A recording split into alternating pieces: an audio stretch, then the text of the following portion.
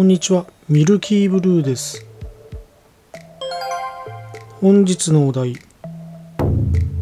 北朝鮮が24日に発射した弾道ミサイル、どこに落ちたか知ってる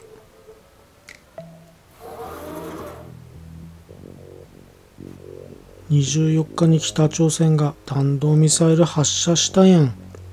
これで今年に入って11発目らしいが。でさ、みんなあのミサイルどこに落ちたか知ってる？これはみんな知っとかないかん情報と思い今日動画にしてるっちゃんね。ちょっと次のツイートば見て。工事平井。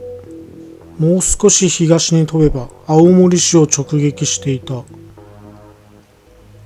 落下地点多数の船。弾道ミサイルは渡島半島の西約150キロに落下したとみられる。これ激ヤバじゃない？こんな近くに落ちてるんよ。ま、おそらくこの情報を知らん人は、あ、いつもの北朝鮮のミサイルやねって思ったかもしれんけども、少しずれてたら青森市を直撃してたっちゃん。これ日本政府、ちゃんと対応せんと次やばいよ。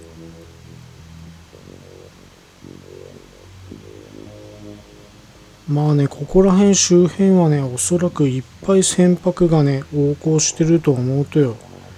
だけもしミサイルが落ちて、船直撃してん、死者が出るやん。日本政府はまだいかんいかん言ってるつもりもうね、これ制裁レベルよ。戦争一歩手前。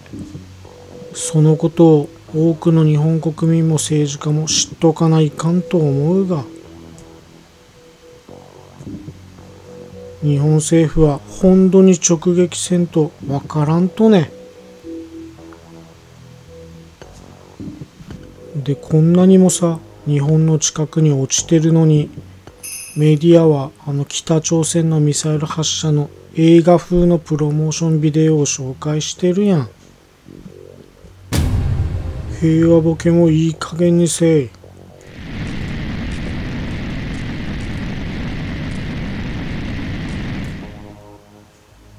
もし北朝鮮のミサイルで日本人の死者が出てん、どうなる？それでも平和ボケのままでいんの？ミルキーブルはそんな状況に危惧してマンモス。まあとにかく今日はね、北朝鮮が撃ち放ったミサイルが日本から150キロしか離れてないとこに落ちたことをみんなと情報共有したくて動画にしました。世界がきな臭くなってる状況でのこれやけんね、危機感を持つべきだと思います。ではご視聴ありがとうございました。それでは。